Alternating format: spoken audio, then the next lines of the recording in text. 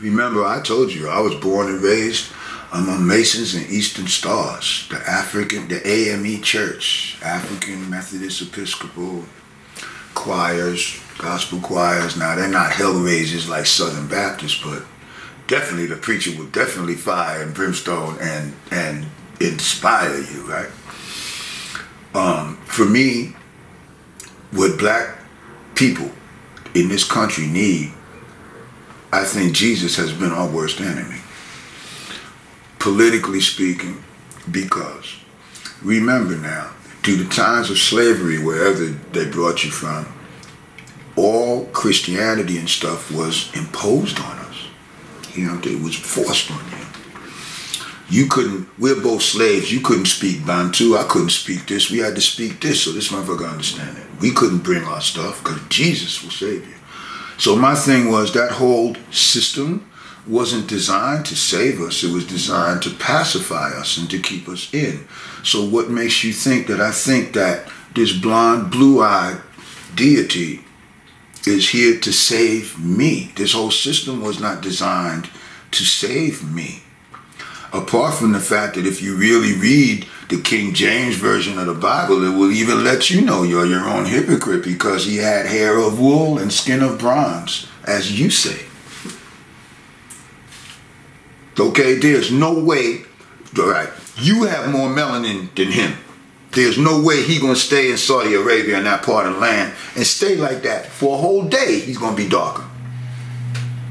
Okay, so if you're asking me, why don't I accept that? Because I'm saying politically and and as what's good for people, it wasn't designed to save us. So what makes you think that I think Jesus is going to save me?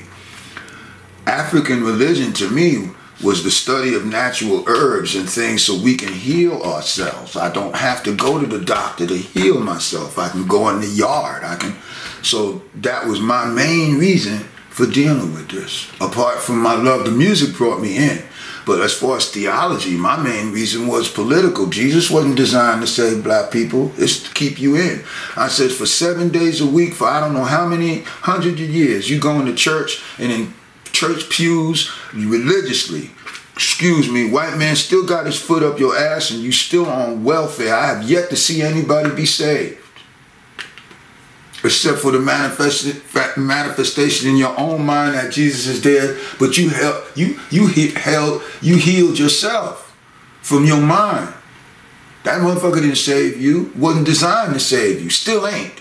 So if you're asking me, that that's the main reason why I'm dealing with the religion, besides my love for the music. My political reason for supporting African-based theology. I don't think that theology was, was designed to save people of color. At the same time, I also, whatever floats your boat, if this is the discipline you need that's going to make you a better person in life and good father to your children, good man, go ahead. You know, so I'm not trying to be like this. But my political views, I don't think that the whole Christian thing was designed to, to, to save us at all. All I see is strife still. Just like when I went to church, the church this morning picked up the food, you know. It's a beautiful thing that church people are doing. I know what love is, you know.